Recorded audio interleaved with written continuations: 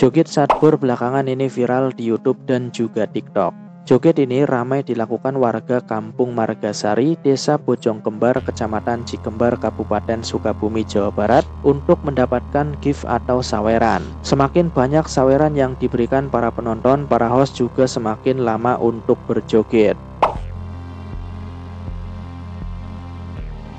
Pria bernama Gunawan ternyata sosok di balik joget Sadbur dengan akun TikTok Sadbur86. Gunawan tak menyangka yang dilakukannya bisa viral dan mendapatkan atensi dari publik. Padahal dia mengaku melakukan aktivitasnya itu berawal dari iseng.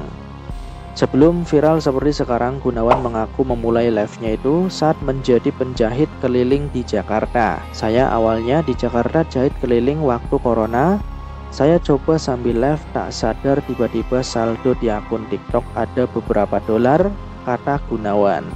Gunawan kemudian memutuskan untuk berhenti menjahit dan pulang ke Sukabumi. Pada 2020 sampai 2021 dia mencoba fokus untuk mencari penghasilan melalui live di TikTok.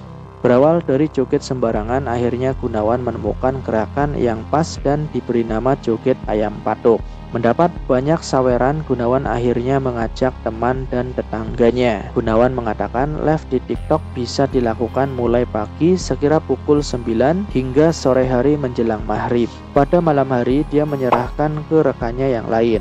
Dari hasil live per hari, Gunawan bisa mendapatkan uang dari saweran sebesar 400.000 sampai 700.000 dan hasil tersebut sudah bersih setelah dibagikan kepada rekan-rekannya.